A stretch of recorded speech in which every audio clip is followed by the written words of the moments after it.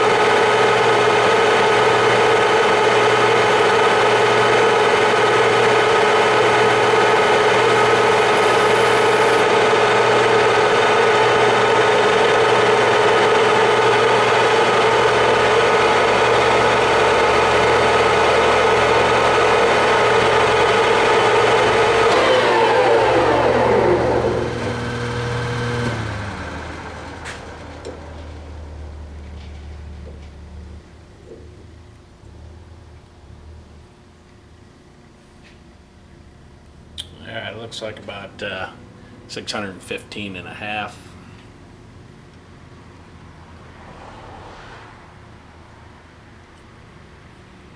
Uh, oh, must have here. 612 and a half, I'm sorry.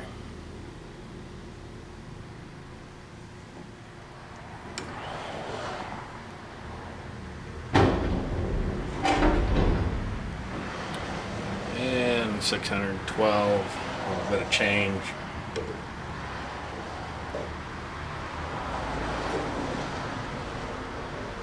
Actually, 612. I think I had a little piece of chip on there, and rubbed it off. So 612 both times there. 612.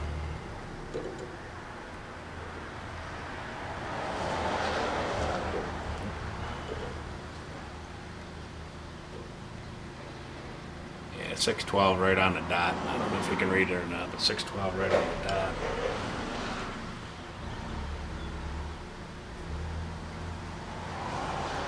It's 612, pretty darn close to right on the dot. So it's cutting uh, pretty much close to dead nuts.